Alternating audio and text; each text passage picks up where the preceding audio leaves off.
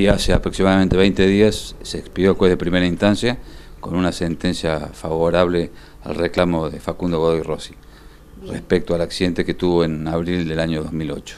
Eh, ¿Es una sentencia que eh, los satisface a ustedes, tanto a vos como abogado y a él como cliente? Sí, han receptado casi el 90% de lo reclamado en demanda, así que este, es satisfactoria. Pero bueno, evidentemente está la compañía de seguros que en su momento tenía contratada la municipalidad y la misma municipalidad van a apelar, apelaron el fallo. Pero ya salió y bueno, eh, estamos tratando de ver si se puede negociar con la aseguradora para llegar a, un, a un, acuerdo.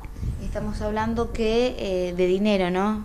Sí, es una indemnización, una, reparación indemnizatoria por todos los daños que sufrió Facundo por este accidente. Recordemos que él, eh, con motivo de este accidente, tiene una incapacidad del 100% ha quedado parapléjico y evidentemente eh, hay que reparar todos esos daños ocasionados en su momento.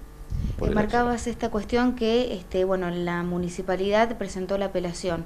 ¿Conocen los motivos por los cuales eh, se resisten a pagar eh, esta cuestión indemnizatoria? Evidentemente para no querer pagar el monto del siniestro.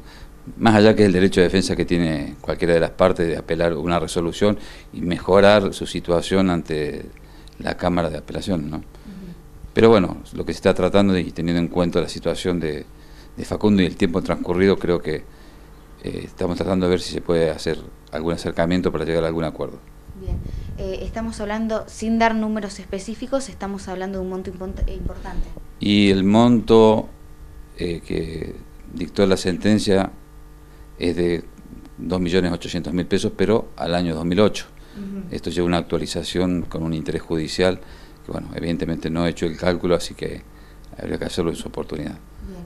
Eh, ¿Cómo se encuentra Facundo en este momento teniendo en cuenta esta sentencia? Facundo está bien, obviamente está muy contento, satisfecho por el, por el fallo, pero bueno, esperando que esto se solucione una vez por todo por su estado y evidentemente necesita que esta situación se resuelva de una vez y bueno, poder continuar con su vida, ¿no? Que más allá de las limitaciones que tiene por su gran discapacidad, este, bueno, esta situación va, va a ayudar, va a colaborar un poco para mejorar su calidad de vida.